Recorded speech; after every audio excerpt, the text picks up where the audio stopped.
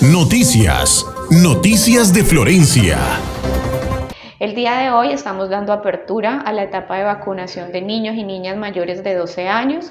Esta etapa de vacunación es la, digamos, la última etapa de vacunación que estamos aperturando en el municipio de Florencia. Por tanto, hago extensiva la invitación a todos los padres, madres y cuidadores de menores a que se acerquen a las IPS vacunadoras, a sí mismo como a los puntos fijos de vacunación. Los documentos que deben llevar para hacer efectiva pues, la vacunación en los menores de edad son la fotocopia la tarjeta de identidad, la fotocopia de la cédula del adulto responsable o acompañante, igual también llevar los originales eh, de estos documentos.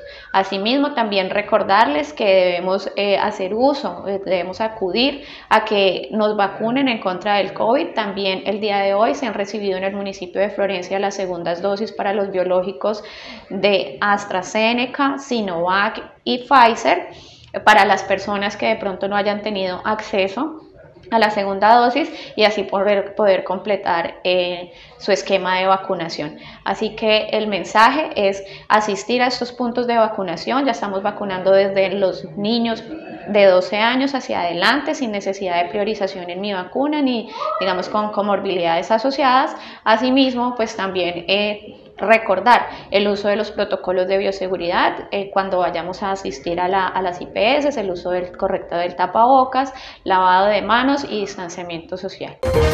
Florencia, biodiversidad para todos. Luis Antonio Ruiz Iseri, alcalde de Florencia, 2020-2023.